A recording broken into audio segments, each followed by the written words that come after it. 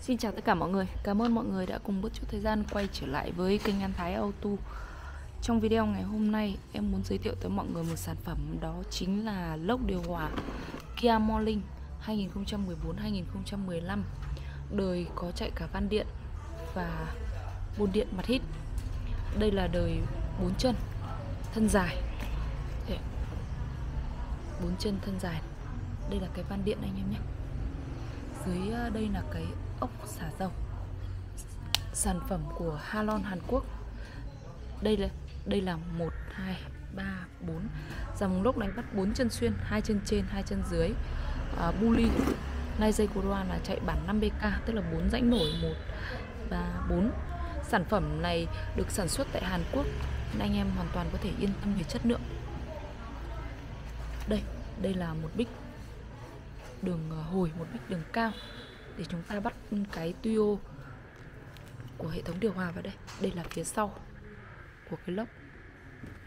Đây, đây là cái mã sản phẩm của nó là 97701 1i201 compressor AC tức là lốc điều hòa. Đấy. với cái đời 2014 đến 2015 này nó có tất cả là bốn mẫu lốc anh em nhé. Cũng là đời này nhưng mà nó dùng van cơ à, chạy 4BK cũng một đời này chạy 6BK và một đời là chân xuyên thân nhỏ. Đây đây là cái rắc điện của cái buôn điện anh ạ. Hai hai đây một nguồn âm một nguồn âm thì nó bắt ra lốc một nguồn dương vào đây. Và một cái rắc điện là của cái um, điều khiển van. Van này nó chạy bằng điện. Đây. Mặt trước phía sau. Cái đầu lốc này sản phẩm của hàng Hàn Quốc để chúng ta nhìn thoáng qua một phát là có thể thấy cái sự nổi bật của nó, tất cả các đường nét của nó rất sắc nét.